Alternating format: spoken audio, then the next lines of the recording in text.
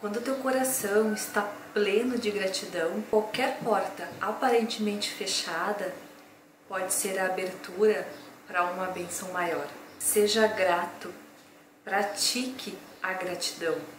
Seja grato pelo teu dia, pelo teu trabalho, pela tua saúde, casa, família, pela vida.